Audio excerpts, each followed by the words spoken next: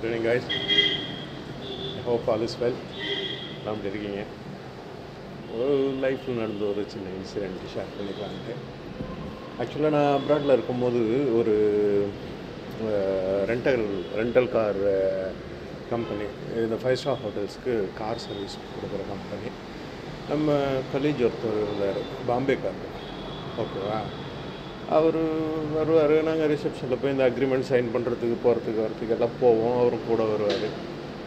அப்படியே போயிட்டு வந்துட்டு இருக்கும்போது ஒரு நாள் என்ன ஆச்சுன்னா காரு நிறுத்திட்டு அவரோட காரில் போனோம். ரிசப்ஷனில் கோவா கோவாவை சேர்ந்து ஒரு பெண் பண்ணியிருந்தாங்க. நல்ல ஃப்ரெண்டு நல்லா பேசுவாங்க. அங்கே போயிட்டு பேசிட்டு வந்துட்டு அக்ரிமெண்ட் சைன் பண்ணி எல்லாம் பேப்பர்லாம் வாங்கியாச்சு. வரும்போது என்னோடய கார் கீயை காணும். ஆக்சுவலாக கார் கார் அவருக்கு ஃப்ரெண்டோட காரில் போனோம் ஏன் கா கார் ஏன் கார் ஆனால் ரூமில் வந்து தேடுறேன் ஒரு வண்டியில் வந்து தேடுறேன். கிடைக்கல. அப்புறம் அங்கே உள்ள கார் எப்படி இருக்கும்னாக்கா இது சென்சார் உள்ளது.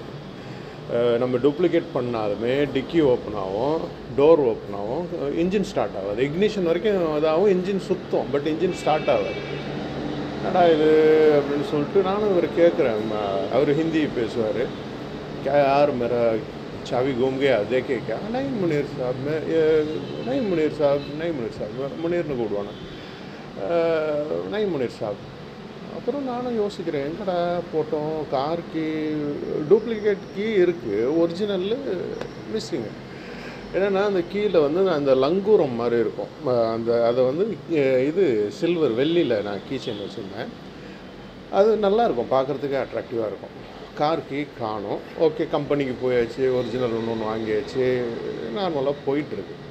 அப்புறம் திடீர்னு எனக்கு யோசனை இந்த ரிசப்ஷனில் உள்ள ஃபாத்திமா முஸ்கான் கோவாக்காரி நான் சில்க்குன்னு தான் கூப்பிடுவேன் நல்லா ஒரு ஃப்ரெண்டுன்னு வச்சுங்களேன் அவர்கிட்ட சொல்கிறேன் இங்கே தின் தின் பேரில் ஆயா தான் ஐசா கார் சாவி கும் சிசிடிவி கேமரா தேக் சக்தி ஆ ஓகே. யாரையும் நார்மலாக விட மாட்டானுங்க. அப்புறம் உள்ளே போனோன்னாக்கா இது வேணும். டெம்ப்ரவரி பாஸ் வேணும். விசிட்டர்ஸ் பாஸ் வேணும். நிறைய ஃபார்மாலிட்டிஸ் இருக்குது ஓகே சொல்லிட்டு நீ வா. என்ன டைமு நீ தானடி இருந்த? ப- பத்து மணி பத்தரை மணி இருக்கும் காலையில். இந்த அக்ரிமெண்ட் சைன் பண்ணி லேண்ட் கிரஸர் வண்டி வந்து விட்டோம். அந்த டைமு உடனே விசிட்டர் பாஸ் ஒன்று கொடுத்துட்டு ரெண்டு பேரும் கேமரா ரூமுக்கு போகணும் அங்கே தான் ஒரு ஆச்சரியம் காத்துட்டு இருந்துச்சு. ஏன்னா கூட வந்த என் நண்பர் தான் என்னோட சாவி. ரிசப்ஷனில் இருந்த கால்குலேட்டர் அந்த பின் ரிமூவ் பண்ணுவோம் தெரியுமா? அது பேப்பர் ஒயிட்டு என்னோட சாவி. இந்த அஞ்சு ஐட்டத்தையும் ஒரே டைமில் கடலையை போட்டிருக்காரு.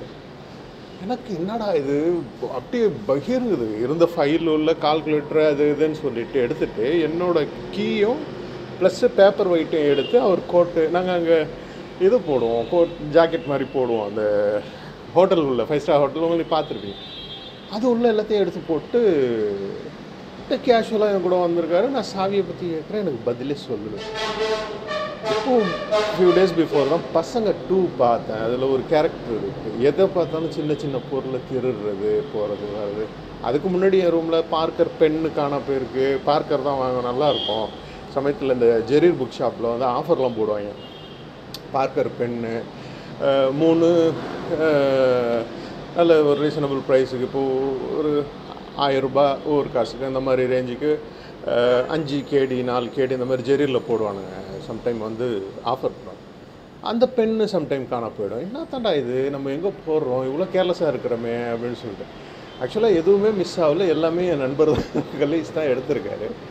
அப்புறம் தான் தெரியுது கிளெப்டோமீனியா இந்த கிளெப்டோமீனியான்ற ஒரு வியாதி வந்து திருட்டில் மகிழ்தலாம்.